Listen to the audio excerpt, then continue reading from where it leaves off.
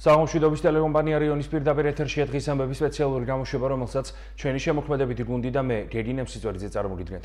ყოველდღე ჩვენ გადაგაცნობთ დღის ყველაზე მნიშვნელოვან თემებს COVID-19-თან დაკავშირებით.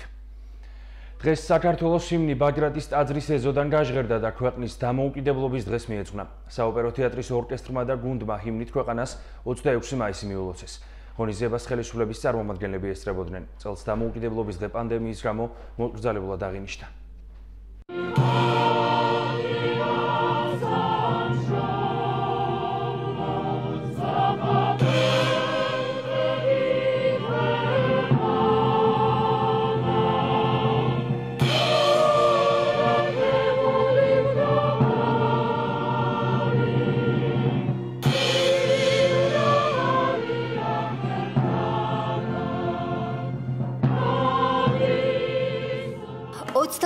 მაისისადმი მიძღვნილი საქართველოს სიმნი ქუთაისის საოპერო თეატრის ორკესტრმა და გუნდმა შეასრულა. ბაგრატის ტაძრის ეზოში გამართულ ღონისძიებას მხარისა და ქალაქის პირველი პირები დაესწნენ და თარიღის მნიშვნელობაზე ისაუბრეს. პანდემიიდან გამომდინარე, რა თქმა უნდა, ვიცით, რომ ყველა ესეთი ღონისძიება არ ტარდება და ჯერჯერობით სიტუაციაც ეპიციტუაცია არ გვაქვს ქვეყანაში ისეთი, რომ ღონისძიებები ჩავატაროთ ისეთივე მასშტაბის, როგორც აქამდე ტარდებოდა წინა წლებში და შესაბამისად ჩვენ მივიღეთ გადაწყვეტილება, რომ იმ მასშტაბიდან გამომდინარე, თუ რამხელა დღესასწაულია 26 მაისი საქართველოსთვის და თითოეული ქართველისთვის, რომ აი ესეთი ტიპის ღონისძიება გაგვეკეთებინა და აი ამ სიმბოლურად ბაგრატის ტაძრის ეზოდან, რომელიც არის ჩვენი ქვეყნის ერთიანობის სიმბოლო, მიგველოცა მთელი საქართველოსთვის დამოუკიდებლობის დღე. განსხვავებულად აღინიშნა წელს 26 მაისი, მინდა მიულოცო სრულიად საქართველოს დამოუკიდებლობის დღე. სიმბოლური არის, რომ დღეს ჩვენ აქედან ბაგრატის ტაძრიდან ულოცავთ სრულიად საქართველოს დღევანდელ დღეს.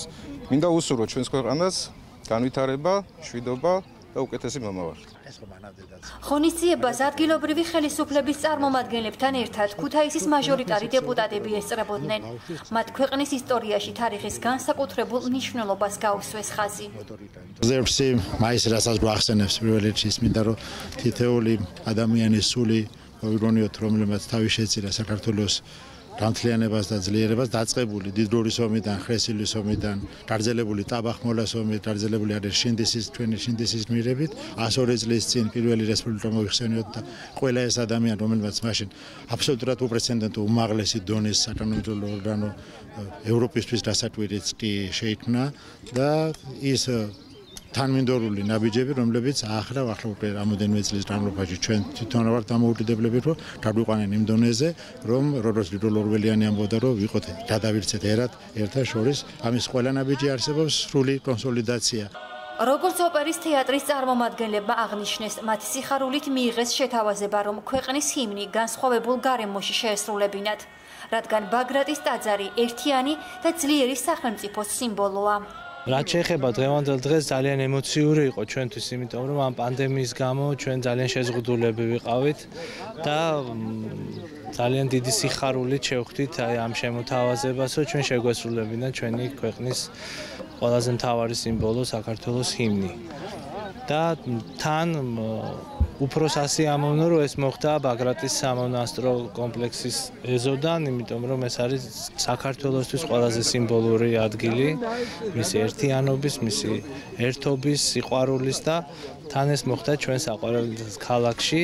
მე ვფიქრობ, რომ ეს ძალიან ექსკლუზიური იყო, ალბათ ესეთი აქტივობა არ ყოფილა არსად. ბაგრატი ეს არის ერთიანი და ძლიერი საქართველოს სიმბოლო და ძალიან სიმბოლურია, რომ აქედან ხდება მილოცვა საქართველოს ულოცავთ ამ დამოუკიდებლობას და იმედი გვაქვს ამისი რომ დადგება ეს 26 მაისი, როდესაც ჩვენ ჩვენ ძმებთან, აფხაზებთან და ოსებთან ერთად შეხვდებით საქართველოს გაერთიანებას და სიძლიერეს. მადლობა. დღესვე ღონისძიების ფარგლებში მხარისა და ქალაქის პირველმა პირებმა, ქუთაისის მაჟორიტარმა დეპუტატებმა და აქტიურმა მოქალაქეებმა ეროვნული გმირის მერაბ კოსტავას ძეგლს პატივი მიაგეს. პირველ რიგში ჩვენს ქვეყანას მინდა მიულოცო დამოუკიდებლობის დღე 26 მაისი არის ისტორია რომელიც შექმნა ჩვენმა საზოგადოებამ, ჩვენმა მოქალაქეებმა 70 წელი დაჭირდა ჩვენს ქვეყანას იმისათვის, რომ დამოუკიდებლობა აღედგინა, მაშინ მერაბ კოსტავამ საზოგადოებამ მოახერხა ერის კონსოლიდაცია და იზღირებულება, რასაც ხიოდა ჩვენი ქვეყნის დემოკრატია, ჩვენი ქვეყნის განვითარება მткиცეთ დაიცვენდა, ჩვენმა ქვეყანამ მიაღწია წარმატებას. ჩვენი მამულისთვის თავდადებული გმირის ძეგლთან ვართ ახლა, ბატონ მერაბ კოსტავას ძეგლთან. ის არის სიმბოლო დამოუკიდებლობის ის არის სიმბოლო თავისუფლების მებრძოლის სულის სიმბოლო არის და მე პირადად ვისურვებდი და უსურვებდი ყველას. თელს სრულიად საქართველოს რომ ჩვენი მომავალი თაობა გაზრდილიყოს მათ მაგალითებზე 26 მაისი წელს პანდემიის გამო მოკრძალებულად აღინიშნა. დამოუკიდებლობის დღის აღსანიშნავი ღონისძიებები დღეს დილიდან დაიწყო ქუთაისში კორონავირუსის გავრცელების პრევენციიდან გამომდინარე ხალხმრავალი შეკრებები არ გამართულა.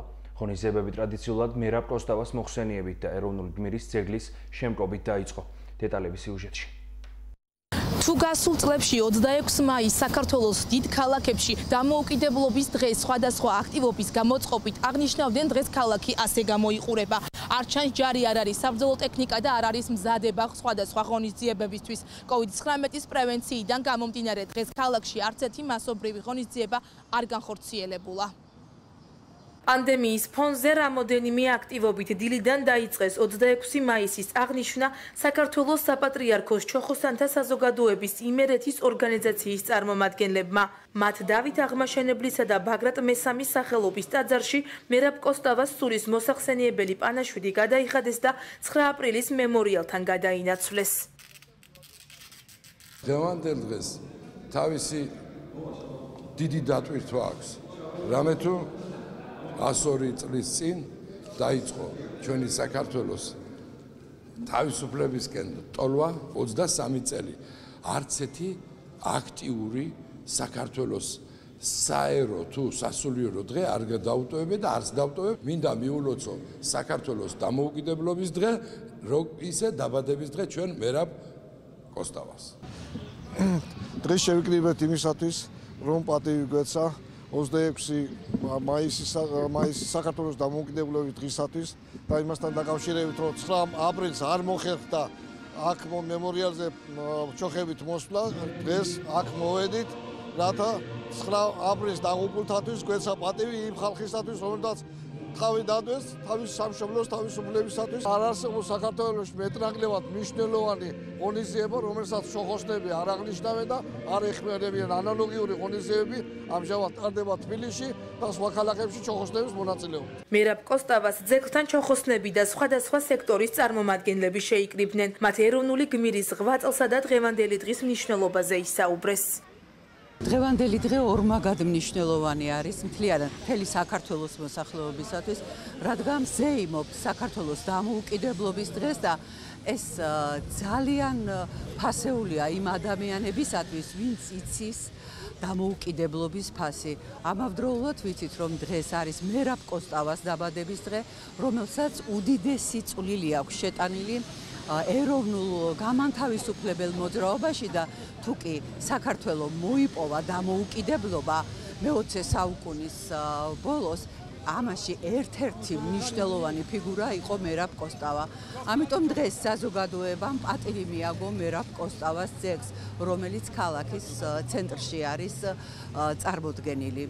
თითოეულ ქართველს ქუთაისას ულოცავ საქართველოს დამოუკიდებლობის დღეს. ეს არის საქართველოს დამოუკიდებლობის დღე.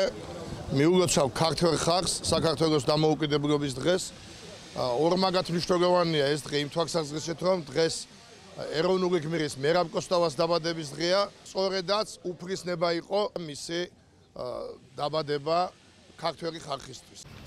საქართველოს დამოუკიდებლობის დღემ COVID-19-ის პრევენციიდან გამომდინარე წელს უჩვეულო ფორმატში მთელ საქართველოში ხალხმრავალი ღონისძიებების გარეშე ჩაიარა.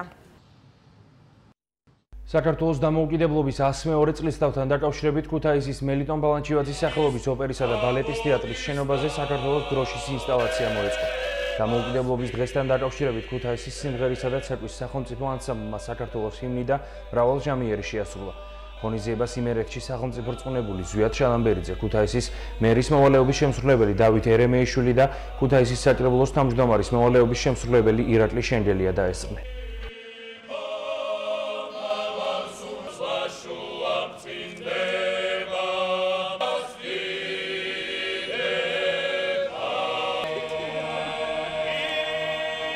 სამწუხაროდ წელს მასიურ შეკრებას ვერ ვახერხებთ, მაგრამ ვცდილობთ, რომ ელემენტარული მაინც გავაკეთოთ ჩვენი ისეთ ფარგლებში, რასაც ყურადღება ქვია და რასაც პატივის მიღება ქვია დღევანდელი დღისათვის.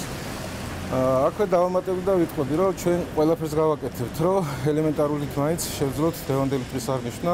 მოქალაქეს ულოცავ დამოუკიდებლობის დღეს 26 მაისი. ჩვენი ქვეყნის ისტორიაში გახლავთ მნიშვნელოვანი თარიღი. დღეს ჩვენი ქვეყნის წინაპრების მონაპოვარზე ვაშენებთ განვითარებულ დამოუკიდებელ ქვეყანას, ევროპული ტიპის დემოკრატიულ სახელმწიფოს. რა თქმა უნდა, ამ სახელმწიფოში მთავარ ღირებულებას წარმოადგენს ადამიანი. ამაყივა რომ ქუთაისი თავისი ისტორიული წარსული ყოველთვის წარმოადგენდა ევროპული ცივილიზაციის უძველეს ნაწილს და ამ ქალაქში ყოველთვის იგრძნობოდა დამოუკიდებლობისთვის და განვითარებისთვის ურყევი ნების არსებობა.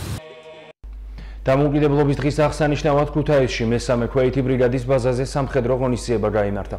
ქვედანაყოფის მეტაორმა პირად შემადგენლობას სიტყვით მიმართა და დამოუკიდებლობის დღე მიულოცა. ასევე გაიმართა სამხედრო მოსამსახურეების დაჯილდოების ცერემონიალი. 60-მდე წარჩინებულ სამხედროს უწყებრივი მედლები გადაეცა. მესამე ბრიგადის ბაზაზე ქართული წარმოების დიდგორი და ჯავშან ტექნიკა იყო წარმოდგენილი. ჩამოიწე ულოცავ საქართველოს თავდაცვის თითოეულ სამხედრო მოსამსახურეს საქართველოს დამოუკიდებლობის აღდგენის დღეს ჩვენი ჯარისკაცების როლი და მნიშვნელობა უდიდესია როგორც ჩვენი ქვეყნის სუვერენიტეტის, ასევე გლობალური უსაფრთხოების განმტკიცების საქმეში. დღევანდელ დღეს ბრიგადაში გამართა 26 მაისის სადმე მიძვნილ ღონისძიება, სადაც გამოფენილია ჩვენი სამხედრო ტექნიკა, შეიარაღება, აღჭურვილობა და გეძლევათ საშუალება, რომ და აღნიშნული ტექნიკა და საშუალებები დაათვალიეროს. დღეს თავდაცვის ძალების მესამე ქვეით ბრიგადაში აღნიშნა საქართველოს დამოუკიდებლობის აღდგენის დღე. ეს დღე უმნიშვნელოვანესი დღეა თითეული სამხედრო მოსამსახურისათვის, რადგან სწორედ ამ უდიდესი მონაპოვარის დაცვა უპირველესი ამოცანა ჩვენი ქვეყნის თავდაცვის ძალებისთვის და მე აქვე მინდა ვისარგებლო შემთხვევით და თითოეულ სამხედროს, თითოეულ კაპრას, რიგის ოფიცერს, ჩვენი ქვეყნის თითოეულ მოქალაქეს მინდა მივილოცო ეს უდიდესი მონაპოვარი.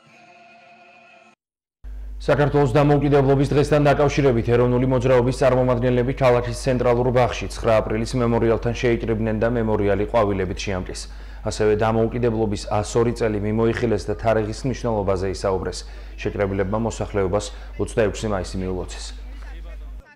21 წელი სრულდება ვერა კოსოვას დაბადების ყოველ წელიწადს ვიკრიბებით ეროვნული მოძრაობის საზოგადოების წევრები რომლებიც ვართ ქალაქში სამწუხაროდ აქტიურობა წელს არ არის ისეთი როგორიც უნდა ყოფილიყო გამომდინარე იმ სუბიექტური მიზეზებიდან რომელიც ზოგადად სოფლიოში არის მაგრამ ვიმედოვნებ თითეული ადამიანი ყოველი ქართველი ღირსებით შეხვდება და დაიცავს იმ ნაპოვარს, რომელიც ასე მნიშვნელოვანი არის საქართველოსთვის, ქართული სახელმწიფოებრიობისთვის. 102 წელი სრულდება, რაც დამფუძნებელმა კრებამ 1918 წლის 26 მაისს გამოაცხადა დამოუკიდებლობა. მე მინდა თელ საქართველოს მოულოცო დამოუკიდებლობა, აგრეთვე მინდა მოულოცო დამოუკიდებლობა ჩვენ ემიგრანტებს და მინდა მოულოცო იმ ხალხს, რომელიც იძულებით დატოვენ 1921 წელს საქართველოს დღეს პარიზის ახლოს ლევილში იმყოფებიან, ისინი ჩვენი ციხე და ხორცია და მე მათ მივესალმები და ბევრჯერ ულოცავ საქართველოს დამოუკიდებლობა. დღეს კიდე მნიშვნელობა აქვს, რომ დღეს არის მერაბ კოსტავას დაბადების დღეა. 91 წელი უსრულდება. აქ არის ძველი ხელსინგელები, ილია მართლელები, რადიკალური კავშირი, რომელიც გვალი მაგიდის პარტიები იყო და დიდი როლი აქვს ამ ხალხს, რო უყურებ თქვენ საქართველოს დამოუკიდებლობაში, დამოუკიდებლობის აღდგენაში მიღებული. დამოუკიდებლობას შენარჩუნებას ჩვენს უნდა იბზრუნოს თითოეულმა მოქალაქე. თითოეულმა ოჯახმა. ერისთვის აუცილებლო და რატოა ახლა აუცილებლო? როცა დამოუკიდებელი ხარ, უფრო ვითარდები. უფრო ვითარდები და განვითარებული ერი სოფლიოს უფრო გამოადგება. ქუთაისის ცენტრალურ ბულვარში დამოუკიდებლობის დღესთან დაკავშირებით გამოფენა გამართა. დამთვალიერებელთა წინაშე 25 ფოტოსურათი იყო წარმოდგენილი. ადგილზე ნაჩვენები დოკუმენტური მასალები დავით მხეიძის სახელობის ფოტოკინომატიანის მუზეუმის საკუთრებაა. როგორც ქუთაისის კულტურულ საგანმანათლებლო დაწესებულებათა გაერთიანების მმართველმა ვაჟა ჯუღელმა ჩვენთან საუბრისას განაცხადა, აღნიშნული აქტივობის განხორციელების შესახებ დასტური გუშინ მიიღეს. მისივე თქმით, პანდემიის გამო წელს მასშტაბური ღონისძიებების გამართვა ვერ მოხერხდა. ნებართვა, რომ ჩაგვეცა მოგვეწყო გამოფენა, ძალიან საინტერესო ფოტო გამოფენა არის, ეს არის ფოტოტელემატიანის მუზეუმის საკუთრება. ეს არის საქართველოს დამოუკიდებლობის დღესთან დაკავშირებული ფოტოგრაფია 1818 წლიდან მოყოლებული წარმოდგენილი არიან მასშტაბი ჩვენი სახელოვანი გენერლები, ინდოინდელი უნგრები, სხვადასხვა მასალები არის წარმოდგენილი დამოუკიდებლობის მიღწევის პერიოდთან დაკავშირებით. ჩვენ ცოტა წინაწლებში გრანდიოზულად აღინიშნებოდა დღევანდელ დღეს, მაგრამ პანდემიის გამო მოგზაურებულად ჩვენ მაინც შესაძლებლობის ფარგლებში აღნიშნავთ დღევანდელ დღეს. გამოფენაზე წარმოდგენილი არის ის პიროვნებები, რომელსაც იგი ყვაწვი მიუძღვის საქართველოს დამოუკიდებლობისათვის ბრძოლაში, გენერალი პენიკაძე კოტი აფხაზი ჩოლოყაშვილი ფაიხოსო ჩოლოყაშვილი და სხვებისო წარმოდგენილი გახლავთ 25 ფოტოსურათი. როცავთ საქართველოს დამოუკიდებლობის დღეს. ლევილის მამული, სადაც საქართველოს დევნილი მთავრობა, ნოე ჟორდანია, ნოე რამიშვილი, ექვთიმე თაყაიშვილი და სხვები ქვეყნიდან წასვლის შემდეგ ცხოვრობდნენ. საქართველოს 2016 წელს გადმოეცა. 45000 კვადრატული მეტრი ფართობის ისტორიული მამულის საქართველოსთვის გადმოცემის არც ხელისუფლების წარმომადგენლებთან ერთად საქართველოს პირველი დემოკრატიული რესპუბლიკის მთავრობის თამამოვლების ხელმოწერაც აქვს. ჩვენი დღევანდელი სტუმარი პარიზიდან ლევილში სპეციალურად ჩავიდა და ჩვენს კითხვებს ლევილის მამულიდან ჟურნალისტი შალვა კამლაძე პასუხებს. გამარჯობა შალვა, გილოცავ დამოუკიდებლობის დღეს და დიდი მადლობა რომ გვერთვები. შენ გაიარე საკმაოდ დიდი მანძილი პარიზიდან სპეციალურად ჩახვედი ლევილში რომ მაქედან მოგვილოცო დღევანდელი დღე.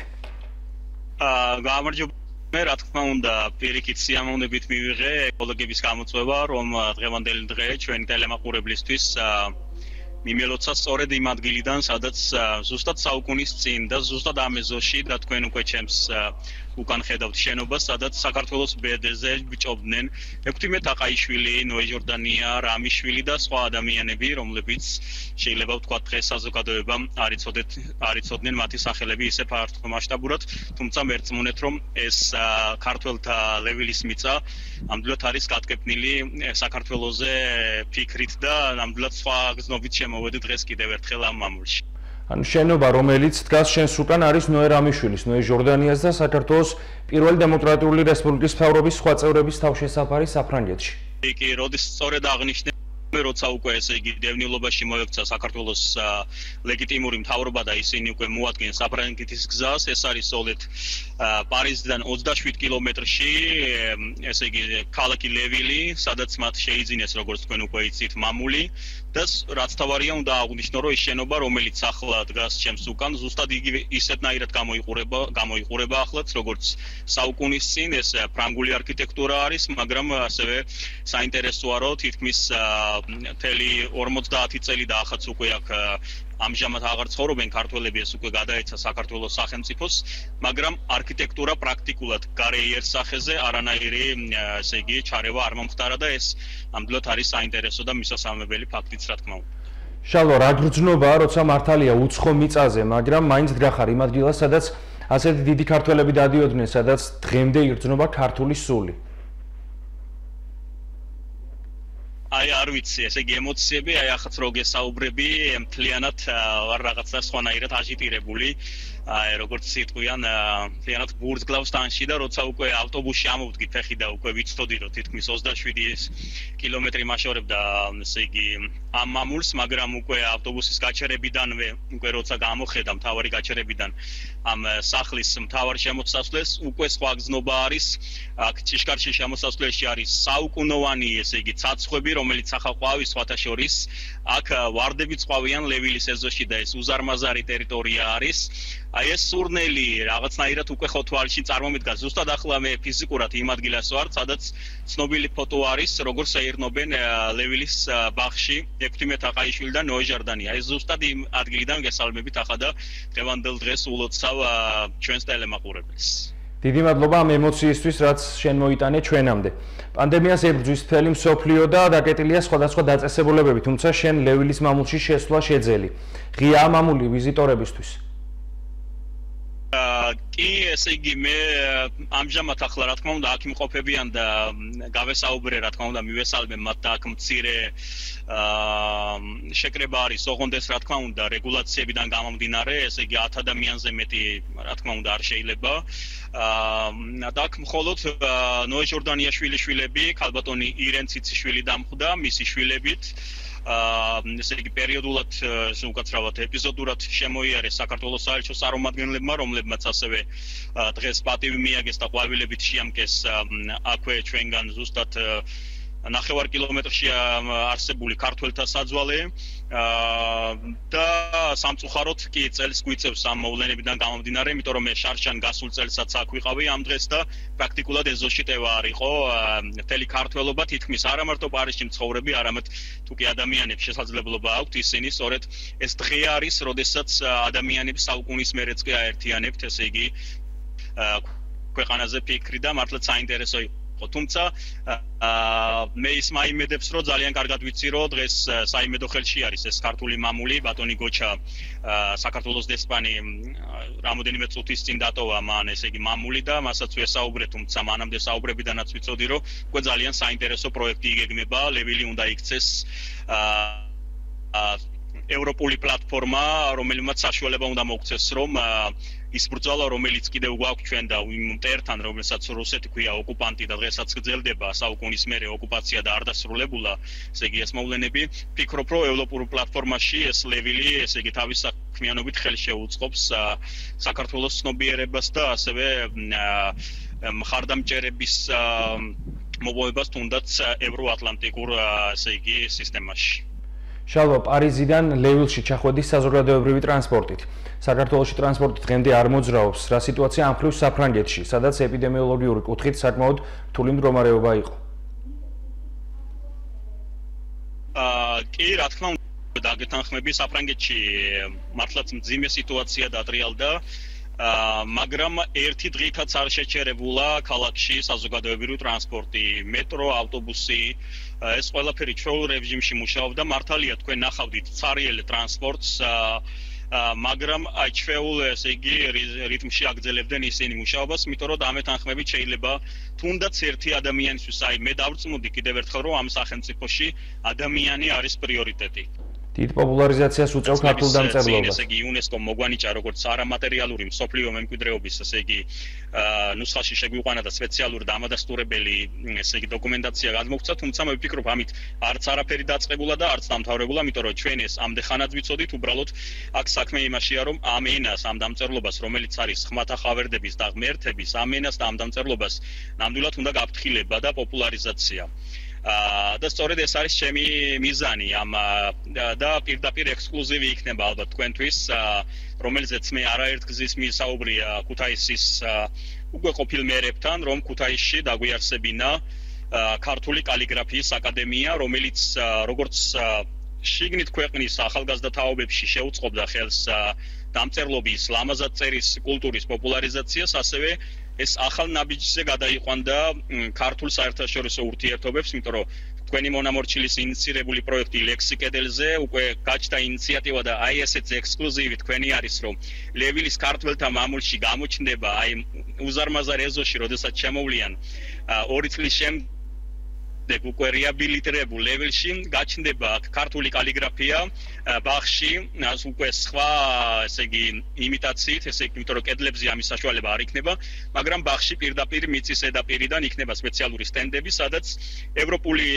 პოეზია კლასიკური პოეზია წარმოქმნილი იქნება ესე იგი ქართულ კალიგრაფში და ამის თქმის საშუალებას ისიც მაძლევს რომ მე კონსულსაც ვესაუბრებ ბატონ გოჩა ჯავახიშვილს ისინი თანახმა არიან ნოე ჯორდანიას სტამომავლობა ოჯახის წევრების თანახმა არიან და არა მარტო საფრანგეთი. ჩვენ სოფლიო უნდა მოვიცვათ, იმიტომ რომ გითხარით რომ იუნესკოს მიერ მონიჭებული ერთი სიგელი ეს შეიძლება იყოს სადღაც შემოდებული თაროზე, მაგრამ ჩვენ დღეს გვჭირდება ესე იგი კულტურათა შორის დიალოგების გაღრმავება, რომ აა ესე იგი ჩვენ კიდევ ერთხელ გავაგებინოთ ადამიანს ჩვენ ვინა ვართ, საიდან მოვდივართ, იმიტომ რომ დამეთანხმებით აა ლიტერატურას უდიდესი ძალა აქვს და ჩვენ ფიქრობთ რომ ამით ძალიან კარგი საშუალება მოგვეცემა. მე როდესაც დავბრუნდები საქართველოში აუცილებლად გეგმავ ნუ არ ვიცი უკვე ჩემი ჩამოსვლის დროს ვინ იქნება ქალაქის მერი, იმიტომ რომ ამჟამად მოვალეობის შემსრულებელი არის, მაგრამ მე აუცილებლად გეგმავ ქალაქის ხელმძღვანელობასთან შეხვედრას, რომ იდეას დაუჭირონ მხარი, ეს არ არის შალვა კამლაძის ახირება. მე წარმომიდგენია თუ როგორ სავიზიტო ადგილად გახდება ქუთაისის სინამდვილეში და არა მარტო ქუთაისის სინამდვილეში. თუ კი ჩვენ ესე იგი ყველა ერთად მომინდომებთ და დავაარსებთ ქუთაისში ქართული კალიგრაფიის აკადემიას, გამომდინარე იქიდანაც რომ თუ გავითვალისწინებთ გაისად თბილისი მართალია დედაქალაქი, მაგრამ ძლიერი დედაქალაქი არის ძლიერი საქართველოს. თბილისი გაისად მასმინძლობს სოფლიო ლიტერატურის დედაქალაქის სტატუსს. ასე რომ ეს უდიდესი ტრიბუნა არის და სწორედ ჩვენ შეგვიძლია ქართველებმა ეს შესაძლებლობა გამოვიყენოთ და კიდევ ერთხელ მოვაქციოთ სოფლიო ლიტერატურის საშუალებით ყურადღება საქართველოსკენ. ძალიან დიდი მადლობა შალვა ამ ემოციური ჩართვისთვის და პირადად შენი დამოკიდებულებისთვის რაც გაქვს დევილის მამულისადმი და ქართული კალიგრაფიისადმი წარმატებებს გისურვებ. პირიქით მადლობა და კიდევ ერთხელ მოკითხვა ჩემს რიონელებს, ჩემს შობლიურ ქალაქს. ძალიან მიყვარხართ და უკვე პრაქტიკულად შეუძლებელიც არის უკვე როცა ვიცი რომ ჩემი აა დღეები უკვე თითქმის იწურება საფრანგეთში ყოფნის უკვე სხვანაირად ვარ ესე იგი აჟიტირებული და მალე შეგხვდებით და ჩვენ ერთად ყველა ძალიან კარგ საქმეებს გავაკეთებთ. დიდი მადლობა. მაყურებელს კი შევახსენებ საფრანგეთში მცხოვრები ქართველი ჟურნალისტი შალვა კამლაძე პასუხობდა ჩვენს შეკითხვებს ვარძელებს გამოშვებას. საქართველოს დამოუკიდებლობის დღე წყალტუბოში წელს განსხვავებულად აღინიშნა. მუნიციპალიტეტის მერმა გრიგოლ რიოსელიანმა საქართველოს ტერიტორიული მთლიანობისთვის დაღუპულ გმირთა მემორიალი გვირგვინით შეამკო. შეჭრებილებმა პატივი მიაგეს იმ მამულიშვილების ხსოვნას, რომლებმაც სამშობლოს დამოუკიდებლობისა და ერთიანობისთვის ბრძოლას შესწირეს თავი. ანსამბლმა ნადურმა სიმბოლურად საქართველოს ჰიმნი შეასრულა. შეჭრებილებმა კიდევ ერთხელ გაამახვილეს ყურადღება 102 წლის წინ მოპოვებული თავისუფლების დაცვის, ქვეყნის წინსვლის, გაერთიანებისა და განვითარების მნიშვნელობაზე. არაერთი თაობა იბრძოდა ჩვენი ქვეყნის დამოუკიდებლობისათვის, თავისუფლებისათვის. ბრძოლის შედეგად მივიღეთ ჩვენი ქვეყნის დამოუკიდებლობა, თავისუფლება. მინდა აღვნიშნო, რომ ჩვენი თანამამამულე ფარცხანაყანების მკვიდრი ფილოსოფოსი, ისტორიკოსი შალვა მუცუბიძეს ხელი აქვს მოწერილი დამოუკიდებლობის აქცე, რომელიც გაფორმდა ერთ საუკუნის წინ. მინდა ყველას მოგილოცოთ 26 მაისი და უსურო ქვეყანას წინსვლა და წარმატება.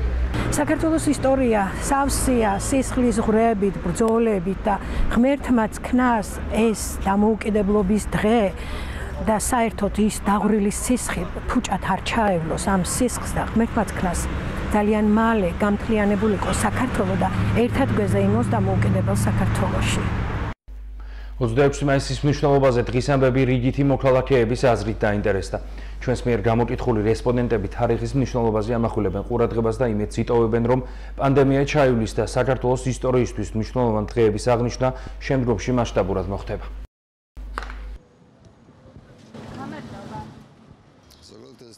ყველა ქართველისთვის არის მნიშვნელოვანი, რადგან ამ დღეს 1918 წელს მიიღო დამოუკიდებლობა საქართველოს სახელმწიფომ და აქედან გამომდინარე ყველასთვის მნიშვნელოვანი უნდა იყოს ეს დღე და მნიშვნელობა არ აქვს, პანდემია არის, каранტინი არის, თავარია რომ ჩვენთვის ეს დღე არის მნიშვნელოვანი თითოეულ ქართველისთვის. ყველა ქართველს ულოცავ ამ დღეს, დამოუკიდებლობის დღეს, 26 მაისს.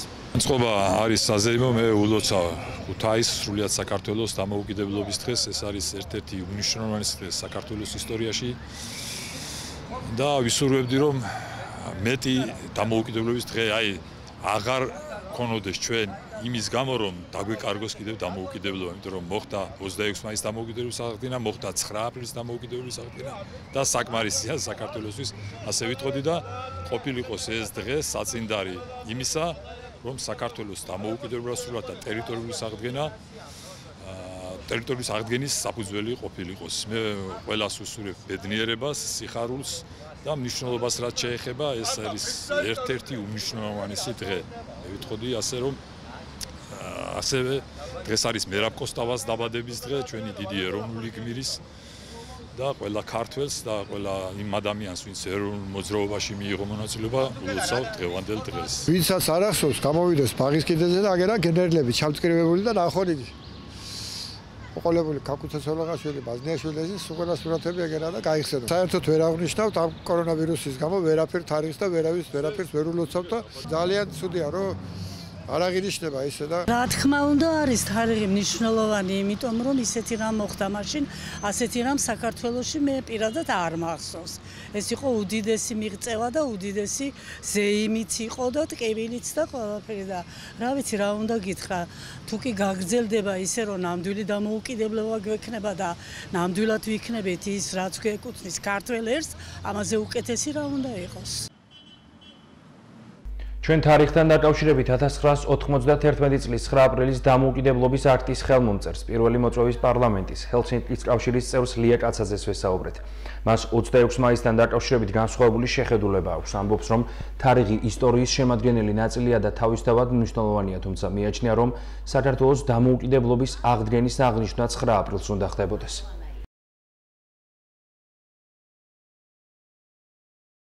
26 მაისი არის 1918 26 მაისი ეროვნულმა საბჭომ გამოაცხადა დამოუკიდებლობა, გამოაცხადა დამოუკიდებლობა და ეს არის დიდგორი ბრძოლა ხომ 1921 წელს.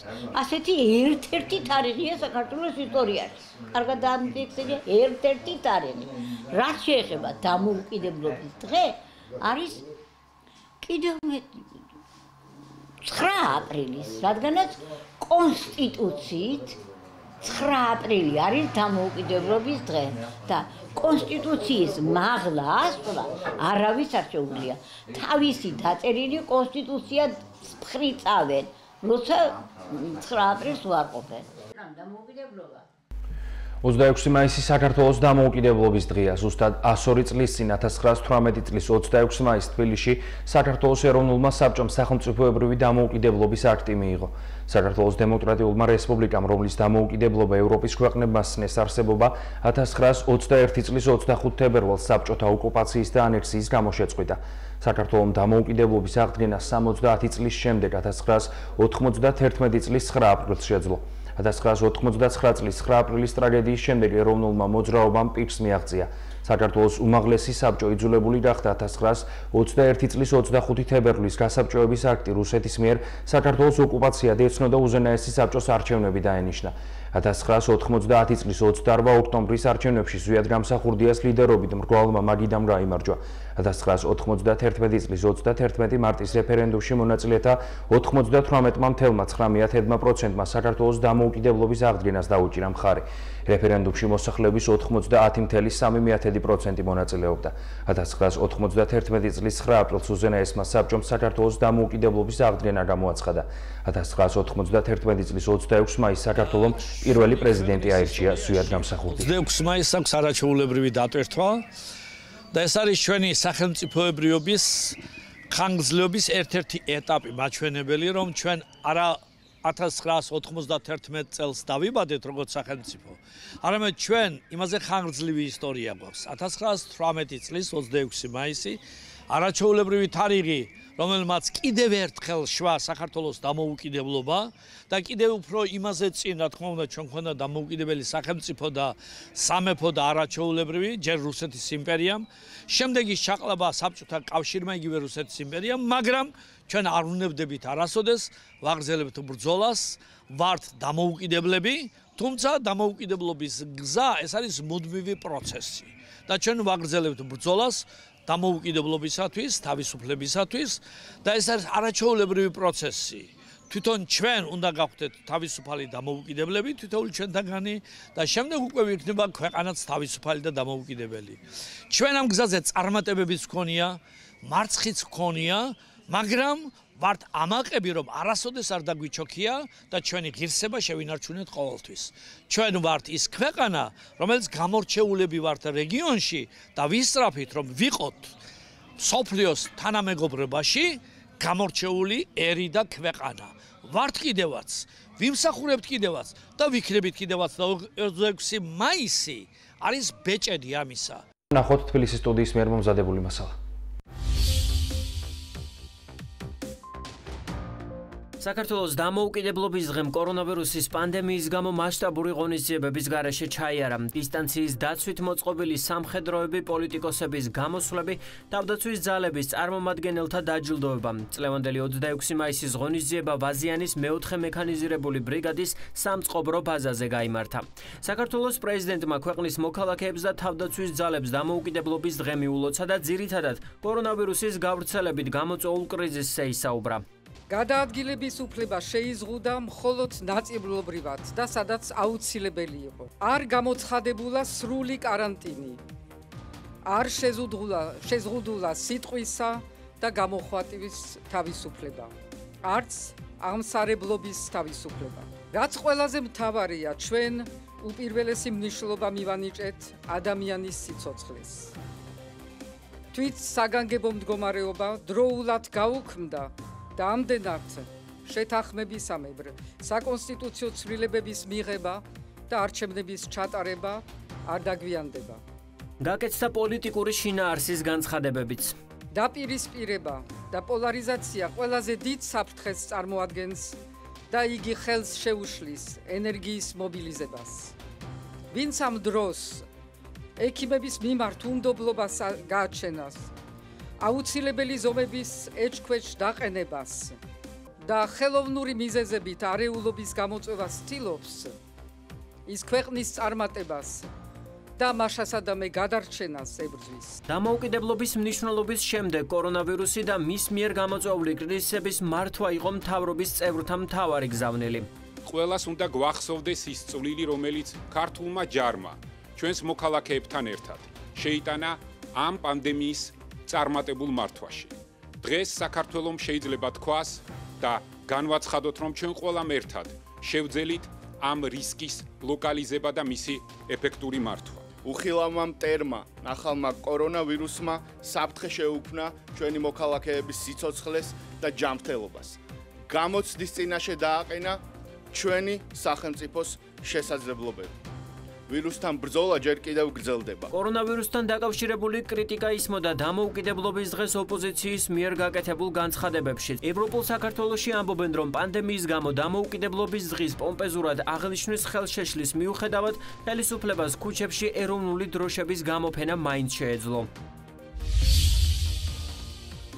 როგორ ებრძოდა საქართველოს პირველი დემოკრატიული მთავრობა პანდემიას, რომელმაც მე-20 საუკუნის დასაწყისში მოიცვა მსოფლიო. ისტორიკოსი დიმიტრი სილაკაძე გვიყვება, რომ 102 წლის წინ ეგრეთ წოდებული ესპანურ გრიპს მთავრობის მიერ შექმნილი ეპიდემიასთან ბრძოლის სამსახური და მის მიერ დანიშნული წარმომადგენელი უმკლავდებოდა. ერთ პიროვნებას ემორჩილებოდა ეპიდემიოლოგიური და სანიტარული თვალსაზრისით რესპუბლიკის ყველა სახელმწიფო თუ კერძო დაწესებულება. მას შეეძლო სპეციალური შინაარსის კანონების გამოცემა, ხალხის დაჯარიმება და 6 თვემდე ციხეში ჩასმა. ეროვნული არქივის წარმომადგენლის თქმით, ესპანურ გრიპთან ბრძოლის პროცესში შეძლების დაგვარად ჩართულნი იყვნენ თვითმართველობებიც, დიდი თანხები იყო გამოყოფილი საავადმყოფოების მოწესრიგებაზეც.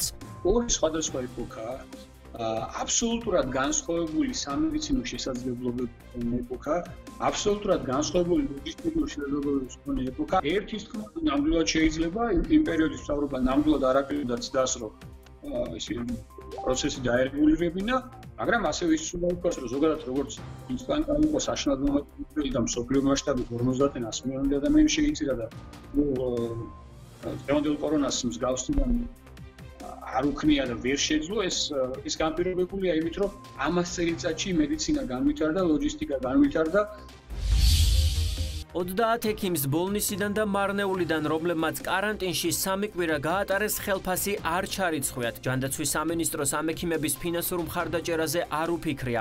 ამბობს ექიმთა უფლებების დაცვის ორგანიზაციის თავმჯდომარე სალომე ლოლუა. მისივე თქმით, უწყება ექიმების каранტინის მხოლოდ ორკვირიან პერიოდს აღიარებს, დამატებით ერთ კვირაზე კი კომენტარს არაკეთებს. ექიმების ნაწილი ორკვირიანი каранტინის ანაზღაურებას დათანხმდა, თუმცა ნაწილმა დამატებითი ერთი კვირის ანაზღაურებას არ მიიღება გააპროტესტა. ხელფასები კი ამ დრომდე არცეთ მათგანს არ ჩარიცხვია. კარანტინიდან გავოსვლის შემდეგ ყველაზე მეტად ჯანდაცვის რა თქმა უნდა უნდა ესურება ამ ადამიანებს და ზრუნვაში გულისხმობ ფინანსურ ანაზღაურებას, რომელიც მიიწვევს ამ ადამიანებს.